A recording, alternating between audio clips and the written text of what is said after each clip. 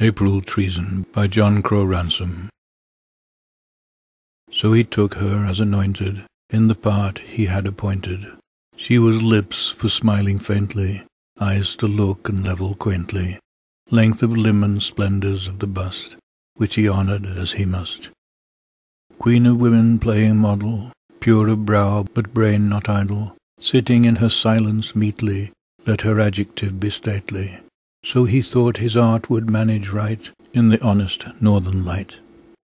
But he fashioned it too coldly, April broke and entered boldly, thinking how to suit the seasons, odors, savour, heats, and treasons. Painter, do not stoop and play the host, lest the man come uppermost.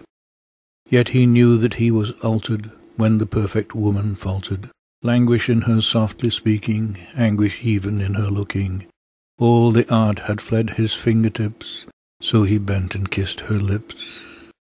He and Venus took their pleasure, then he turned upon his treasure, took and trampled it with loathing, flung it over cliffs to nothing, glittering in the sunlight while it fell, like a lovely shattered shell.